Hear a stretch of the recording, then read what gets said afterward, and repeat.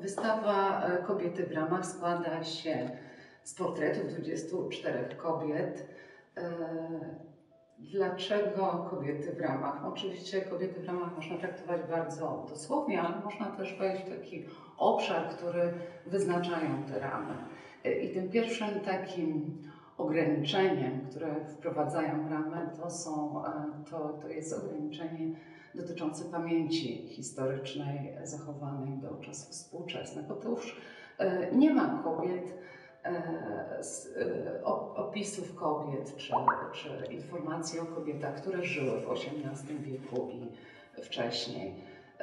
Te informacje dopiero mamy w końcu XVIII bądź na początku XIX wieku.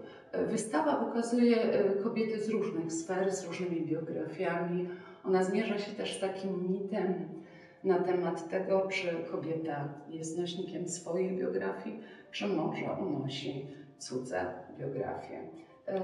Wystawy zaczynają właściwie takie portrety kobiet związanych z pałacem Skierniewickim, czyli damy bardzo, bardzo dostojne. E, wśród nich mamy e, Elżbietę Orbeliani, ale to rozumiem, że zobaczymy sobie ją później. E, Elżbietę Orbeliani, czyli e, zmierzamy się z legendą o Sabedianie, ona jest współcześnie utożsamiana właśnie z tą legendą, e, w której marszałek Bariatyński porywa kobietę z Kaukazu i tutaj ją przytrzymuje i ona popełnia samobójstwo. Prawda jest nieco inna. Elżbieta Orbeliani e, e, była zakochana w Bariatyńskim, zresztą z wzajemnością. Bariatyński e, wówczas, kiedy był feldmarszałkiem i namiestnikiem Kaukazu, w zasadzie no, musiał się zmierzyć jakoś z tą miłością. Okazało się, że, że nie jest taka prosta miłość, dlatego że Elżbieta była żoną jego adiutanta Dawidowa. I co zrobił Bariatyński? Wyjechał z tego Kaukazu, umówił się z, ze swoją Elżbietą oraz jej rodzicami. Oni dojechali do, do niego i wzięli, Elżbieta z Bariatyńskim wzięła potajemnie ślub. To oczywiście e, wiązało się e, z, z doprowadzeniem do rozwodu z Dawidowem. E, ten rozwód był w zasadzie okrutny, bo to Elżbieta właściwie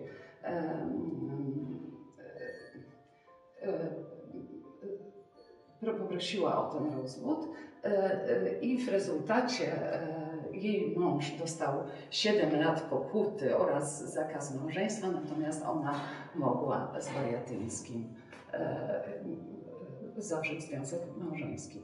Oni pojawiają się tutaj w latach 70., w 71 w zasadzie, e, kiedy w Skierniewicach e,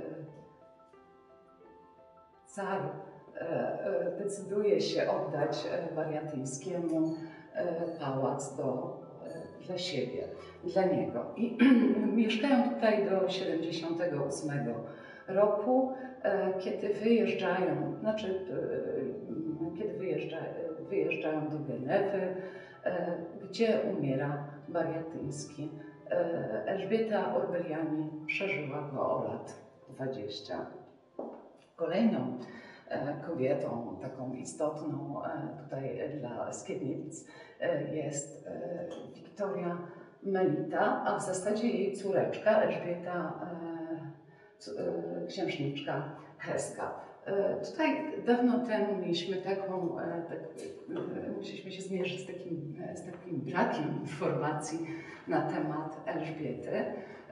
Okazało się, że tutaj w pałacu w Skierniewicach zmarła księżniczka i właściwie nie wiedzieliśmy dlaczego, co się stało. Dzięki właściwie rozwojowi różnych technik jesteśmy w stanie dzisiaj e, na to odpowiedzieć. E, Wiktoria Melita, e, czyli mama Elżbiety, była wnuczką królowej Wiktorii.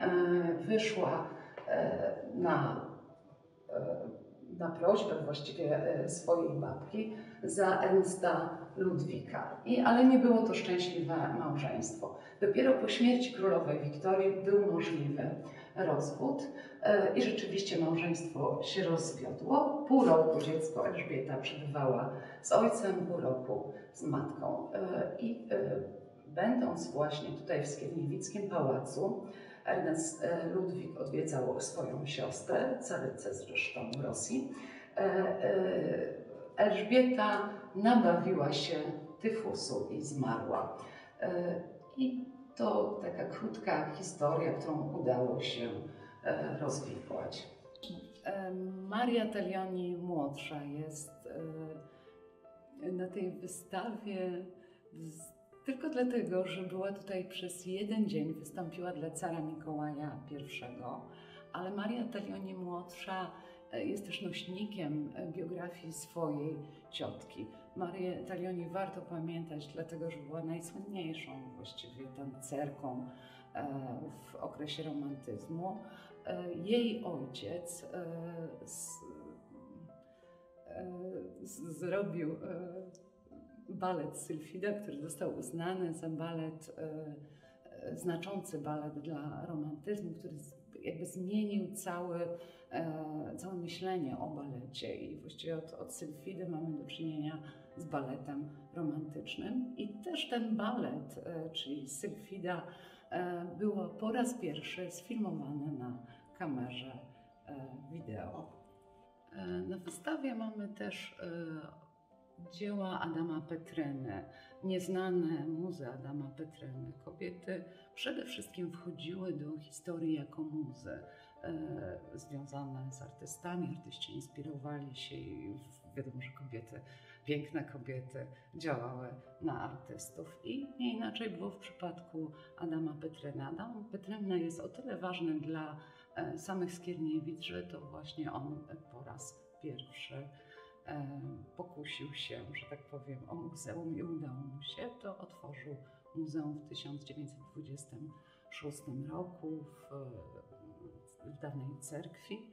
E, niestety muzeum nie przetrwało zbyt długo, ale warto pamiętać tutaj o e, niezwykłym rzeźbiarzu, który pożył, rzucił właściwie takie salony artystyczne, zakopał się na prowincji i tutaj prowadził taką działalność E, organiczną, e, e, tworzył takie ognisko księżackie, w którym znajdowali, mogli oddawać się swoim pasjom ludzie, którzy tutaj mieszkali niedaleko.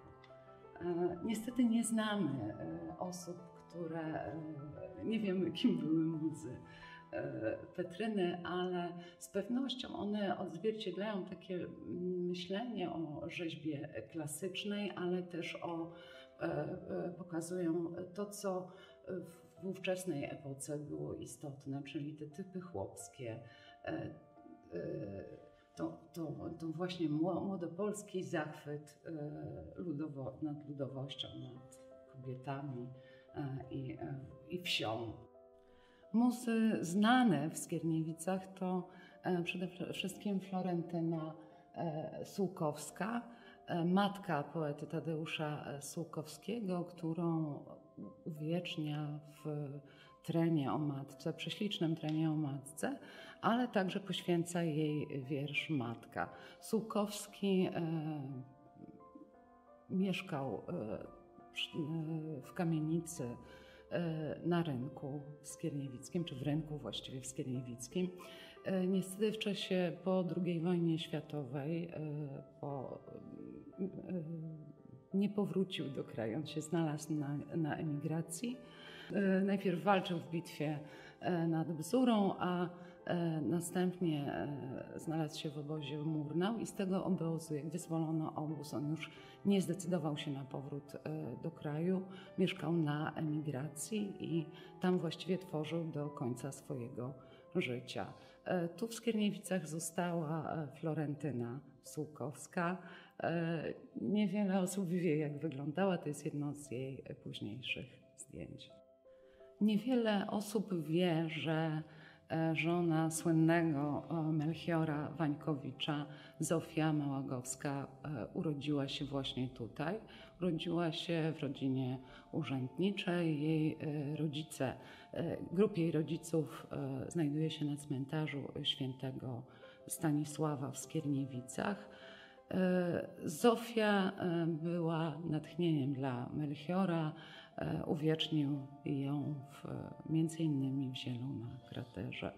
Oprócz e, mus mamy oczywiście kobiety e, niezwykłe, które jakby swoją działalnością, e, e, swoim życiem pokazują sam, same siebie. Wśród nich oczywiście są kobiety, które zajmują się takimi zawodami, które e, jakby przystały kobiecie, przystoją kobiecie, czyli e, są społeczniczki, są bibliotekarki, nauczycielki, jest zakonnica Maria Ludwika Szemiot, ale e, wystawę zamykają dwie niezwykłe kobiety, sportsmenki. Myślę, że wcześniej jakby nie mamy żadnej informacji o, o, o wcześniejszych e, sportsmenkach i sportsmenki o tyle niezwykłe, e, że e, Maria Korolewska jest kobietą, która skacze ze spadochronu, zdobywa medale, jest mistrzynią Polski, trzykrotną mistrzynią Polski, ale też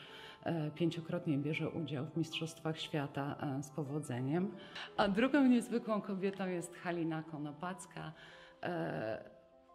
która e, jako e, pierwszy właściwie sportowiec z Polski zdobyła złoty medal na e, Igrzyskach Olimpijskich w rzucie dyskiem.